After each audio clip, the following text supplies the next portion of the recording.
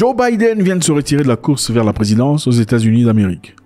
Euh, certainement choqué, beaucoup de personnes, en l'occurrence. Ça sera la toute première fois qu'un président américain se retire de la course à ce niveau de l'élection. Hmm, ça sera la toute première fois. Donc euh, Biden sera remplacé par Kamala Harris, qui a été jusque-là son vice-président, la vice-présidente. Kamala Harris va assumer cette responsabilité de lutter contre Donald Trump dans la présidence. Euh, beaucoup de choses se sont passées, on va essayer de comprendre pourquoi. Est-ce que Biden lui-même a dit que je ne serai plus président de la République? Ou bien, euh, voilà, il y a eu quelque chose de, de malicieux qui s'est passé quelque part. En effet, beaucoup de personnes pensent que Joe Biden avait été interpellé par ses collègues chose qui n'a pas été fait jusque-là. Ses collègues, c'est-à-dire euh, Barack Obama, Nancy Pelosi et beaucoup de personnes qui lui ont demandé de ne pas participer, de ne pas se présenter comme candidat aux élections présidentielles. Parce que d'après eux, surtout Barack Obama, qui pense que Joe Biden n'a pas les capacités, il a perdu sa crédibilité à l'égard de beaucoup de personnes aux États-Unis, surtout les démocrates. Avant de continuer, on va vous montrer ça, c'est Joe Biden depuis un temps.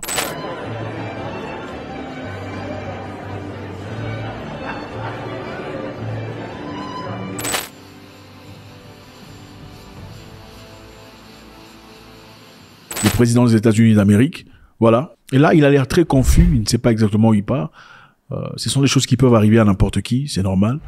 Mais euh, il y a certaines euh, positions sociales où c'est quand même assez difficile d'accepter de voir le chef agir de sorte. Là, Biden en difficulté, ne pouvons pas monter à l'avion. Regardez ça. Joe Biden, qui depuis un temps d'ailleurs, pendant une réunion qui réunissait les, présidents de plusieurs pays, l'objectif de la réunion, c'était de discuter sur l'Ukraine et de voir quelles sont les mesures à prendre contre Vladimir Poutine. Et en ce moment-là, pendant qu'il voulait inviter le président ukrainien Zelensky, Joe Biden a dit recevons le président Poutine au lieu de dire président Zelensky.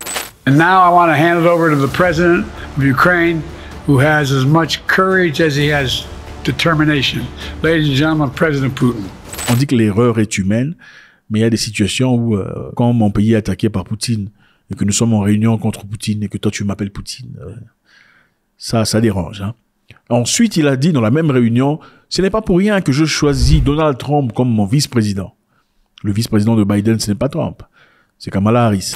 I wouldn't have picked Vice President Trump to be vice president, but I think she's not qualified to be president. So let's start there.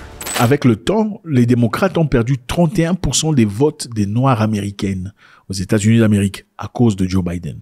Alors il était important pour eux de le lui dire ouvertement. Mais Joe Biden est irrité. Joe Biden est irrité contre Barack Obama alors que la pression augmente au milieu de la course à la Maison Blanche. Joe Biden dit considérer Obama comme un marionnette dans les coulisses concernant la conversation sur la campagne. C'est-à-dire, Biden a trouvé que c'était Barack Obama qui instiguait et demandait aux autres de mettre la pression sur lui d'arrêter sa course à la présidence. S'il voyait Joe Biden en interview, après qu'on lui ait posé la question de savoir si, quelles sont les raisons pour lesquelles il quitterait sa course pour la présidence? If there had some medical condition that emerged, if somebody, if doctors came to me and said, you got this problem, that problem. But I made a serious mistake on the, in, the, in the whole debate. And, uh, and look, when I originally ran, you may remember it, I said I was going to be a transitional candidate.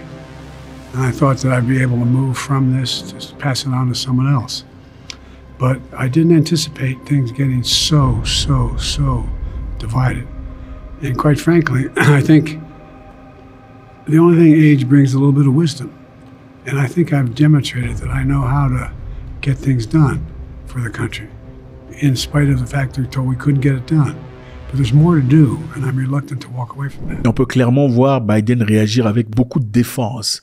Il voulait se défendre. Le 19 juillet, l'ancien président américain Barack Obama a déclaré à ses alliés que Joe Biden devait reconsidérer sa candidature à la réélection. Obama estime que le chemin de la victoire s'est réduit et que l'homme de 80 ans devrait examiner sérieusement la viabilité de sa candidature. Donc euh, voilà.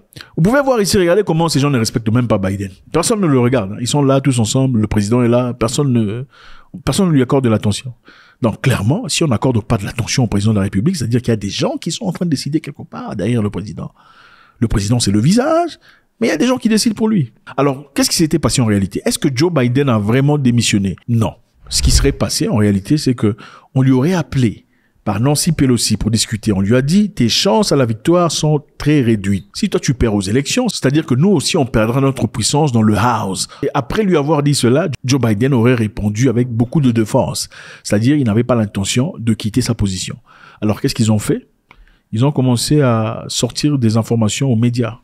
Ils ont demandé aux médias de dire que Biden va quitter le pouvoir, va quitter la course aux élections. Ce n'est pas Biden qui a décidé ça.